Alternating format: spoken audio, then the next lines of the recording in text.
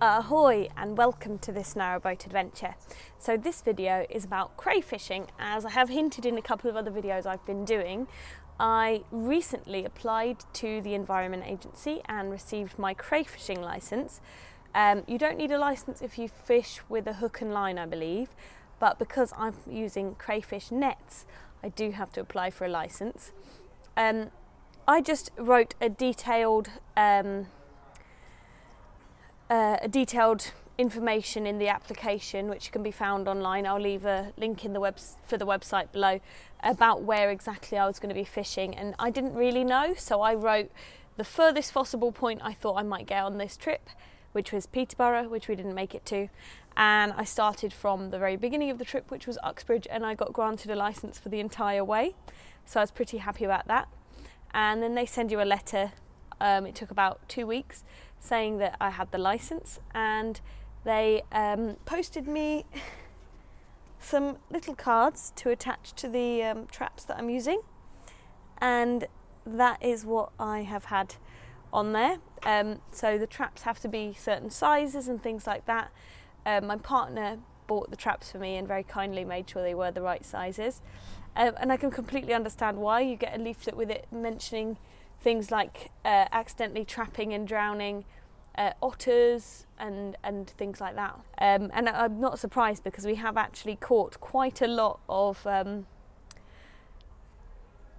of uh, fish, small fish by mistake. So we have of course thrown them back in because the, when you see the traps in a second, you'll see. Um, basically, the way that it works is it's a large net tube and then it comes into a small opening that the crayfish goes into. They fall down into the tube and they can't get out again. Um, we've been using uh, either like cat food, uh, tin sardines, or chorizo uh, with success more depending on the place rather than the bait that we've used. So, um, what I want to do now is pull up the crayfish nets that we have here, and hopefully, I'll have caught some, and then I'm going to cook them with you. So that's the license card that I was sent. I had one for each of my three traps. This is the trap, as you can see, there's the tubes at each end. Um, the bit hanging down in the middle is the bait, and there are three crayfish at the bottom and a zip in the middle to let them out. Um, so I'm just getting them out now. Um, I'm going to use the Ray technique and um, dispatch them straight away. So if you'd like to skip that, you're probably going to want to skip ahead to about 4 minutes 20.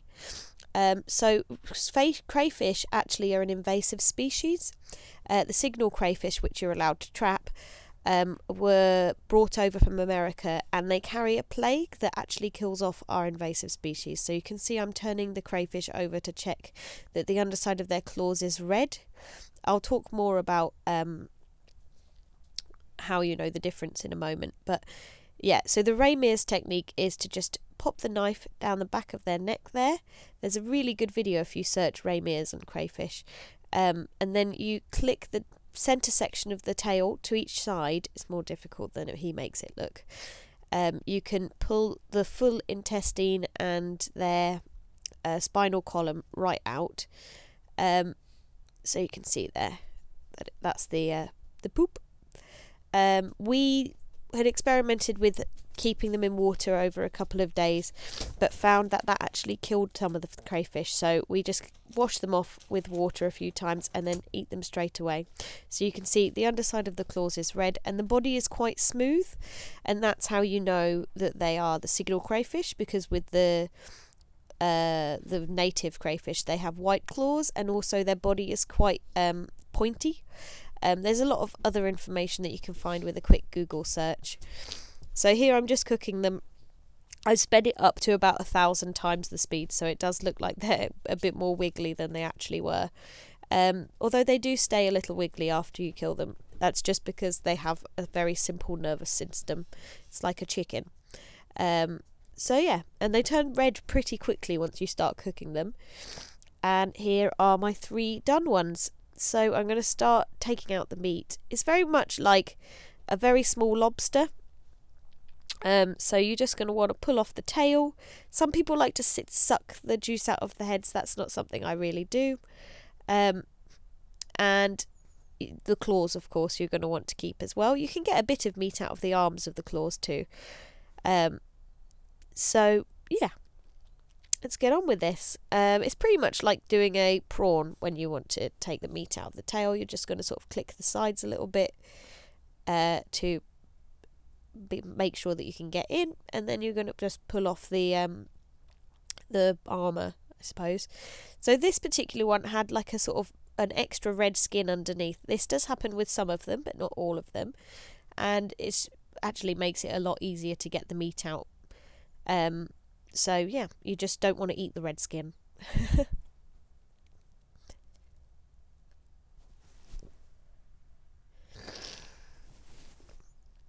and um, I'm speeding up the arms because they are a little bit fiddly and you don't get a huge amount of meat out of them. But if you're going to do it, you might as well eat all that you can. And um, as I say, it's very much as you would with a lobster.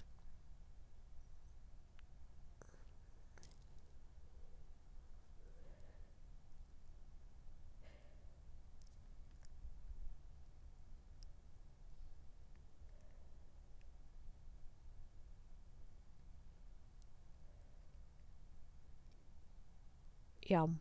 I can't wait to eat these. Um, a friend of mine actually caught 19 in Broxbourne, so up the River Lee is the next place I'd like to get a license to crayfish. And uh, yeah, so the claws you just want to do is the same as you would really. You're going to use a knife or something to crack open the shell and then just grab out the meat from there. So you can see our second crayfish in has only got one arm. He's obviously been in a fight or something and lost one of his arms, which is a shame for us because that means a bit less meat. But there you go. Um, so in a minute you'll see all of the meat from all of the crayfish all together, and so this is much more of a starter portion. I think nineteen would be a good amount. Yum. One thing I should note is that once you catch crayfish, you're not allowed to put them back into the water because they carry this plague. And um, it's good practice that once you've caught some in a particular area, if we're moving to a next area, we leave the crayfish nets to dry for 24 hours before we put them back into the water. Thank you very much for watching. And if you would like to, you can um, let me know in the comments if you've ever caught your own dinner, um, particularly if it's like crayfishing, fish. Um, I'd really like to go sea fishing sometime. You can check me out over on Facebook if you prefer to get a notification of new videos there. You can join us on this narrowboat adventure anytime you like by clicking subscribe. And and I'd like to say a great big thank you to Mark Buller for your Patreon sponsorship. You rock, and I'm going to get a keyring out to you in the mail very soon. Uh, if you'd like to as well, I have got a podcast now, a narrowboating podcast called This sorry, called Miss Narrowboat Adventure with my good friend Marlies, who you may remember from uh, the pump out video. Uh, we talk about adventuring, narrowboating, and being missuses. So you can check that out. I'll put links in the description. Thank you very much for watching. Have a great day. Bye!